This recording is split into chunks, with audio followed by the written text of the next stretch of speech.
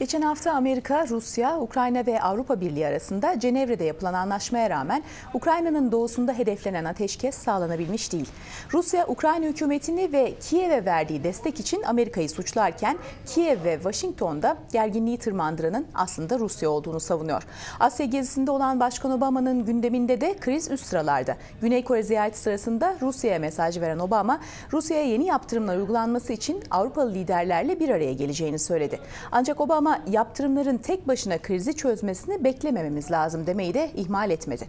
İşte biz de bugün krizde gelinen son noktayı stüdyomuzdaki konuğumuzla ele alacağız. Washington'da bulunan küresel makro siyasi ve ekonomik risk analiz şirketi Sidar Global Advisors kurucu ve yöneticisi Cenk Sidar konuğum. Hoş geldiniz stüdyomuza. Hoş bulduk Selin. Önce Washington'un bu konuyu ele alışıyla başlayalım. Aslında Obama yönetimi bugüne kadar askeri seçeneğin masada olmadığını da sık sık yineledi. Yaptırımlar yapılıyor ama içeride özellikle Cumhuriyetçiler tarafından krize ele alış şekli Obama'nın çok eleştiriliyor. Şimdiye kadarki ele alış şekliyle krizi yönetmeyi başardı mı Washington? Tabii öncelikle Amerikan ekonomisindeki ve siyasetindeki iç sorunların iç sorunlardan ötürü dış politikanın son dönemde ikinci plana itildiğinin farkında olmamız gerekiyor. Bununla beraber Rusya'nın ve diğer bazı aktörlerin de küresel sahnede etkinliklerinin ve rollerinin arttığını e, arttığına tanık oluyoruz.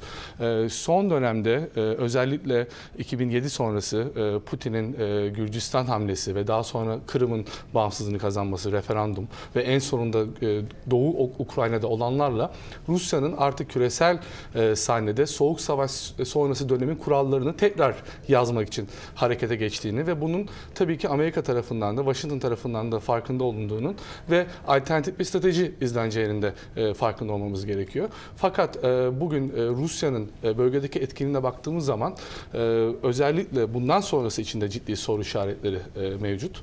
E, Moldova'da, e, Kazakistan'da ve Polonya'daki e, hükümetler e, mevcut durumdan e, endişe duymaktalar durumdalar.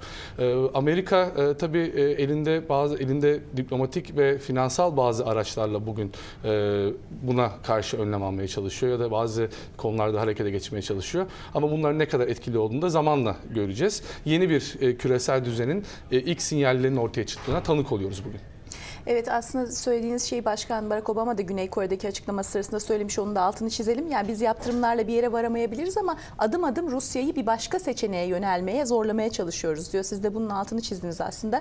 Yine bu krizi çözülmesi zor kılan konulardan birisi de aslında Ukrayna'nın dolayısıyla da Avrupa'nın enerji konusunda Rusya'ya olan bağımlılığı. Ee, özellikle Joe Biden'ın Amerika Başkan Yardımcısının son ziyaretinde bir 50 milyon dolarlık bir yardım paketi daha açıklandı Washington tarafından Kiev'e ve bunun özellikle de bu Rusya'ya bağımlılığı azaltma konusunda yani değişik alternatif enerji kaynakları için kullanılacağı açıklandı. Ama ne kadar mümkün bu bölgede bu Rus doğalgazına bağımlılık ne kadar kesilebilir? Ee, Ukrayna özeline bakarsak Ukrayna Rusya gazına ciddi anlamda bağımlı durumda ve önceki dönemlerden neredeyse 2 milyar dolarlık bir e, borçları mevcut e, Rusya hükümetine. Bu tabii ki diplomatik olarak da siyasi olarak da ciddi bir sıkıntı yaratıyor. E, bugün yapılan bir açıklama Moskova'dan 2013 yılında e, kullanılmayan ya da alınmayan gaz içinde e, neredeyse 10 milyar dolarlık bir fatura çıkarıldığına tanık oluyoruz Ukrayna e, hükümeti için. Bunlar tabii ki Ukrayna hükümetini hem mali olarak hem de siyasi olarak e, zor duruma e, sokmayı hedefleyen adımlar Moskova'dan gelen. Fakat e, bugün en önemli konu belki Avrupa'nın e, e, Avrupa'nın Rusya gazına ve petrolüne bağımlılığı. AB özelinde bakarsak oran %25 gibi bir rakam Avrupa gazına bağımlılık ama bazı ülkelerde bu %80, %90 hatta %100'e kadar çıkabiliyor. Avrupa Birliği üyelerinin özeline bakarsak. Aynı şekilde petrol olan da bağımlı %30 civarında. Bugün karşılıklı bağımlılık olduğundan söz etmek belki mümkün olabilir ama ters düşüncede olan da bazı analistler mevcut. Karşılıklı bağımlılıktan ziyade sadece Avrupa'nın Rusya'ya olan bir bağımlılığı olduğunu çünkü Avrupa'nın Avrupa'dan Avrupa'nın müşteri rolünü Rusya'nın Çin özellikle enerji tüketimi artan Çin'le ikame edebileceğini düşünenler var. Ama bir yorum olarak da şunu eklemek gerekebilir. Tabii dünyada değişen enerji teknolojileri e, ve bazı e, önemli buluşlarla yeni gaz rezervlerinin ve yeni e, petrol rezervlerinin bulunmasıyla işte Amerika'da shale gaz dediğimiz kaya gazı teknolojisinin gelişmesiyle Amerikan gazının ya da Amerikan enerjisinin Avrupa'ya ve diğer ülkelere ihraç edilmesi de bu çözümün parçası olabilecek bir konu olarak görülebiliyor. Fakat bunun henüz feasible olmadığı ortada. Avrupa'nın atması gereken önemli adımlar var. E, enerji distribüsyonunu güçlendirmesi gibi, enerji politikalarını aynı merkezden yürütebilmesi gibi. E, bunlar e, Avrupa'nın gelecekte Rusya'nın e, gücünü törpülemek açısından ve kendilerine olan riskin azaltılması açısından önemli bir mesele. Enerji konusunda Rusya ile yakın işbirliği içerisinde olmak zorunda olan ülkelerden birisi de Türkiye yine. Birçok bölgesel krizde bahsediyorduk. Yine Türkiye bu krizin içerisinde de tabii adı geçen ülkelerden birisi, etkilenebilecek ülkelerden birisi. Aynı zamanda Kırım Tatarları ile ilgili bir endişe de var. Başbakan Erdoğan'ın daha önce Vladimir Putin'le konuştuğu ve bu endişeyi en azından ilettiğini biliyoruz. E, bu konuda Türkiye e, özellikle bu doğal gaz ya da enerji bağımlılığı konusunda nasıl etkilenebilir bu krizden ya da ne durumda acaba? E, Türkiye Avrupa içinde Rusya gazına olan en yüksek bağımlı olan ilk 10 ülke arasında. %70'e yakın bir bağımlılığımız mevcut ve bu dış politikada bugüne kadar ciddi bir sıkıntı yaratmamış gibi gözükse de Suriye meselesinde Rusya ile ayrı pozisyonlar alabildi Türkiye bu dönemde. Bir e, dış politikayla enerji politikasını ayrıştırabilmeye başardı. Ama şimdi değişen jeopolitik iklimle Rusya için bazı jeopolitik meselelerin daha da önemli hale gelmesiyle e, bu tarz bir esneklik sağlanamayabilir Türkiye açısından. E, Türkiye doğalgazda Rusya'ya bu denli bağımlıyken enerji güvenliği açısından yapılabilecek önemli adım belki nükleer enerjinin başka bir kaynak tarafından temin edilmesiydi. Fakat burada da hükümetin kararı gene yine Rusya ile böyle bir ilişkinin yapılması oldu ki bu aslında uzun dönemde Türkiye açısından e, ortaya çıkacak riski arttıran bir faktör olarak görülebiliyor ki sanırım çalışmalar başladı. Kırım Tatarları açısından bakarsak Kırım Tatarları bugün nüfusun %12'sini etkileyen, %12'sini e, oluşturan bir e, popülasyon ülkede. Türkiye'nin kendi ne yakın bir etnik grupla ve yakın ilişki kurması ve onların güvenden endişelenmesi kadar normal bir durum yok. Ama Türkiye e, bölgesel ya da küresel bir aktör olacaksa da sadece kendi soydaşları ekseninden bakmak yerine bölgedeki istikrarın geleceği açısından da e, bakabilecek olgunluğa sahip olması gerekir.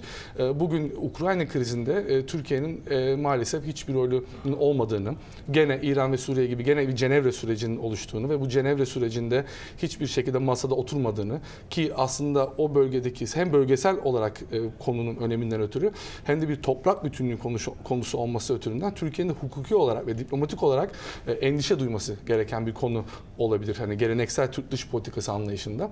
Fakat e, maalesef ne bölgesel istikrara katkı e, sağlama açısından ya da kendi güvenliği açısından e, Türkiye'nin böyle bir e, etkinliğinin e, olmadığını görüyoruz Ukrayna krizinde de. Aslında az önce biraz bahsettiniz ama biraz daha detaylandıralım isterim. Özellikle Amerika hem de Avrupa Birliği ile birlikte yaptırımlar uyguluyor Rusya'ya.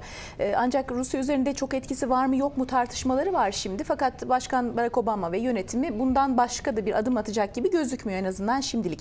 Acaba Rus ekonomisini ne kadar etkilemeye başladı bu yaptırımlar? Ee, Putin dün yaptığı bir açıklamada e, Rus ekonomisinin yaptırımlarla ciddi şekilde etkilendiğinin fakat bu etkinin öldürücü seviyede olmadığının altını çizdi. Ee, fakat Rus ekonomisinin şu anda ana parametrelerine baktığımız zaman e, büyümenin 1.5 e, seviyesine düşeceğini görüyoruz IMF tahminiyle. Enflasyon %5 hedefinin üzerine %6'ya çıkmış durumda. E, sermaye çıkışı ülkeden 2013 yılının ilk çeyreğinde 70 milyar dolar seviyesine ulaştı. Ki bu 2013 yılın toplamından daha fazla. 2014'ün ilk çeyreğinde olan bir bu çıkış.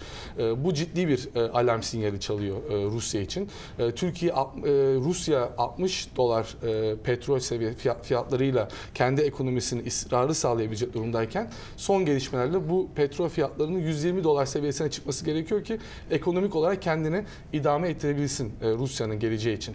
E, aslında bugün Rusya ekonomisi ciddi bir krize karşı karşıya. Bugün de Standard Poor's şirketi e, Rusya'nın kredi notunu en düşük seviyenin bir üzerine BBB eksi seviyesine çıkardı. Rusya bir faiz arttırımına gitmiş durumda. 7.5 faiz arttırımı. Bunlar hep politik riskin arttığına, makroekonomik durum durumun aslında kötüye gittiğine ve bazı verilen siyasi kararların ciddi önemli e, ekonomik kararlar, ekonomik sonuçlara yol açabileceğini gösteriyor. Yeni yaptırımlara baktığımız zaman da yeni yaptırımların daha etkili olabileceğini söyleyebiliriz. Daha sektör bazlı e, yaptırımlar gelecek. E, finans sektörüne, enerji sektörüne, büyük bankalara ciddi bir e, yaptırım uygulanabilir. E, Fakat bunlara İran'a uygulanan daha önceki dönemde kadar genel geniş olabileceğini düşünmek yanlış olur. Çünkü İran e, küresel ekonomiye bu kadar entegre bir aktör değildi. Rusya'da da, da Rusya küresel ekonomiye entegre bir aktör. Küresel ekonomiye zarar vermeden, küresel ekonomik aktör, ekonomik aktörlere zarar vermeden Rusya'ya e, bu denli genel yaptırımlar uygulamak e, kolay olmayacaktır. Yaklaşık son birkaç dakikamızda e, bu şu konuyu da konuşalım istiyorum. Jeopolitik anlamda ısınmaya başladı bölge. E, bu küresel ekonomiye katkıları yani etkisi olabileceğinden de bahsediyorsunuz. O yüzden de yaptırımları da belli bir seviyede tutmaya çalışacaktır uluslararası toplum diyorsunuz. Acaba Türk ekonomisini nasıl etkileyebilir bu? E, Türkiye ekonomisi de son dönemde ciddi bir politik risk tehdidiyle karşı karşıya. E, Türkiye'nin makroekonomik e, dengeleri bozulma sinyalleri vermeye son iki senedir başladı. Büyümenin bu sene daha düşük seviyelere çıkıp düşecek gerileyeceğine göre %3 seviyesinde 2014 için beklentiler bu yönde. Gene cari açık normalde yüksek büyüme yaşarken ortaya çıkan yüksek cari açık aslında bir bakıma tahammül edilebilecek bir cari açık ama düşük büyüme ve cari açık yüksek cari açık kombinasyonu ülke için ciddi tehlike sinyalleri çalmakta. E, küresel görünümde e, Türkiye için olumlu değil şu anda. Merkez Bank Amerikan Merkez Bankası'nın parasal genişleme operasyonlarının e, durdurulma noktasına gelmesi yavaş yavaş e, her ay azaltılıyor. Faizler yükselmeye başlayacak önümüzdeki yıl başı itibariyle. Bunların üzerine bahsettiğiniz gibi Ukrayna olsun, Suriye olsun bu e, jeopolitik krizler aslında Türkiye'nin ekonomisinin kırılganlığını hem içeriden arttırıyor hem de dışarıdan arttırıyor. E, bu yüzden e, Türkiye'deki ekonomi yönetiminin bu risklerin farkında olup e, bu makroekonomik dengesizleri çözmeye yönelik yapısal adımlar atması şart. Bunun yapıldığı takdirde Türkiye hem demografik özellikleri nedeniyle hem de dinamizm nedeniyle büyümeye ve önemli bir aktör olmaya devam edecektir. Ama aksi takdirde bu zihniyetin devam ettiği sürece ciddi bir sıkıntı yaşama şansımız da günden güne maalesef artmakta. Sayın Sider çok teşekkür ederiz katıldığınız, görüşlerinizi paylaştığınız için. Ben teşekkür ederim. Ukrayna krizinde son durumu, Washington'un tutumunu ve olası senaryoları Sidar Global Advisors kurucu ve yöneticisi Cenk Sidar'la konuştuk.